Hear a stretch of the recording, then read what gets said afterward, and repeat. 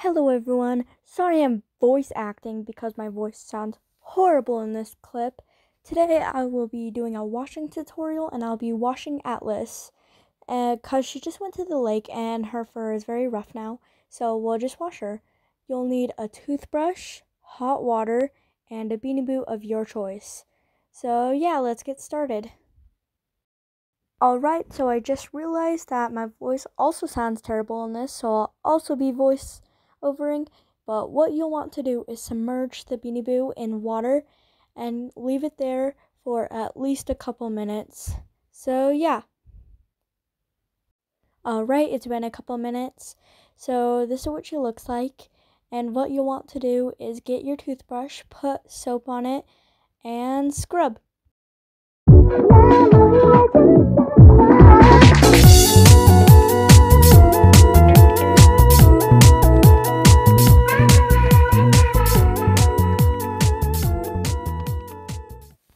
Once you're completely done scrubbing your Beanie Boo, as you can see it's very soapy, you'll want to submerge the Beanie Boo back in the water and try to get all that soap off because if you don't get all of it out, the Beanie Boo will become moldy and it's just very gross to see in your Beanie Boo collection. So try to get most of the soap um, off and rinse it out to make sure all the water's out that could also lead to mold happening. So I definitely recommend using this because if you don't wash, clean out your Beanie Boos, then they'll most likely get mold.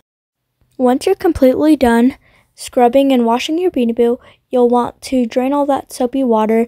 Make sure it's all gone by the time you're done because it could get soap back into the Beanie Boo if you do put it in the sink again.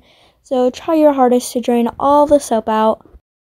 Once all the soapy water is strained, you'll want to turn the sink onto hot again and you'll just want to put your Beanie Boo into the hot water and just try to get out all the rest of the soap and make sure it's really hot. Try not to touch it because I did burn my hands a couple of times. You can probably see in the clips. Um, if you do get it on your hand, just be very careful because in a few seconds you can probably see me burning myself. yeah, Here's just a time lapse of me trying to get all the soap out of the Beanie Boo. I really didn't want to record all this, but I did for some odd reason. After you're done rinsing off the Beanie Boo, you'll just want to rinse all the extra water out of the Beanie Boo and try to get all of it because this is the last step of the process of washing your Beanie Boo. So you'll want to try and get all that soap out. When you're done rinsing out your Beanie Boo, you'll want to get a towel and you'll just want to scrub your Beanie Boo as hard as you can with that towel because, like I said, you don't want it to lead to mold because that will happen. I've had mold in my Beanie Boos before, so please do this step because it's very, very important in the process. So please. So when the Beanie Boo is all dry now, you'll probably want to uh, leave it by a window with sunlight can hit and it can dry properly.